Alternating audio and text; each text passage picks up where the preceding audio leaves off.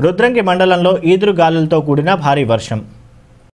ఆగమైతున్న రైతులు విస్- వీస్తున్న గాలులతో కొనుగోలు కేంద్రాల్లో వడ్ల పైకప్పిన పాలిథిన్ కవర్లు కొట్టుకుపోయి తడుస్తున్న ధాన్యం. మానాల గ్రామంలోని ఐకేపీ కొనుగోలు కేంద్రం ధ్వంసం అలాగే గాలికి నేలరాలుతున్న మామిడికాయలు రైతులను నిండా ముంచిన అకాల వర్షం.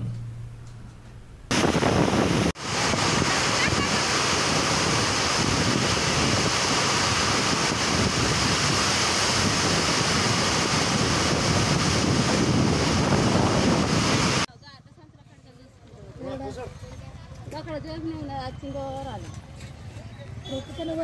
కూడా పోసుకున్నా అవి మస్తు అయితే వేరు వారు